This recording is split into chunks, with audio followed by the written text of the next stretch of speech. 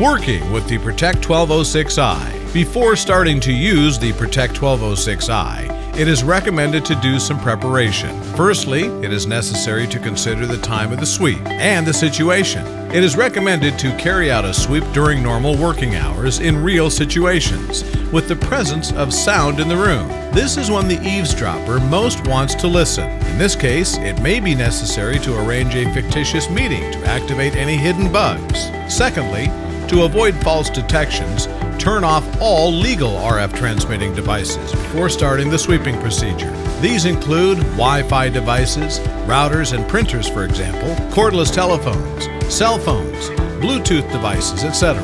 Connect the rod antenna to antenna 1 and the micro pointer microwave antenna to antenna 2 and turn on the Protect 1206i. The usual method of searching suggests using the first channel, marked as antenna 1, in order to perform searches for all types of transmitters with different methods of modulation, both analog and digital. Make sure the antenna 1 is selected. Choose the operation mode with the help of the mode button. For covert procedures, use the vibration or silent modes. The sound mode is convenient for a fast search, as an experienced operator may be able to distinguish between different types of signals. The vibrating or mixed modes allow the operator to avoid constantly watching the bar graph when inspecting areas that are difficult to access. Enter the room, watching the bar graph or paying attention to the vibrator. Walk around the room continuously, watching the indicator or feeling for the vibration bar graph level will increase or decrease when the detector is closer to or farther away from a transmitting device. Probe all objects which may contain a hidden surveillance device. After this,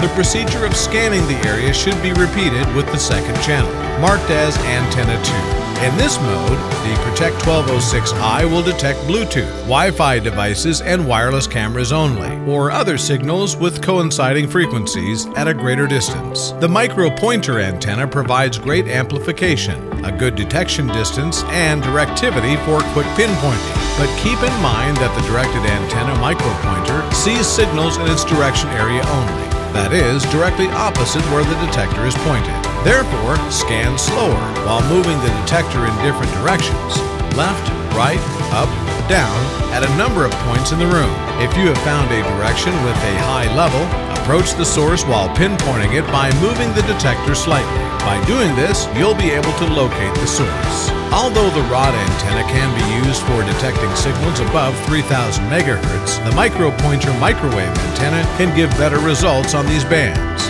Additionally, the microwave antenna gives directionally for easy pinpointing. Therefore, it is possible to use the micro pointer antenna in the left antenna 1 socket for an additional search, instead of the antenna 2 where it is as standard. Connect the micro pointer antenna to the antenna 1 temporarily instead of the rod antenna and scan the room again, taking into consideration the direction of the antenna. You'll get a better detection distance on the higher frequencies above 2000 MHz, and signals on lower frequencies will be omitted. After you have found the exact location of a high field, start a physical search. Visually inspect and probe each object in the highlighted area.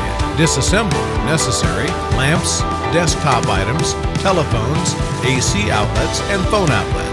Remember that a physical search is a fundamental operation during any sweep. And please remember, if you find a bugging device, do not stop. You should continue to search more carefully as eavesdroppers often install more than one device in an area.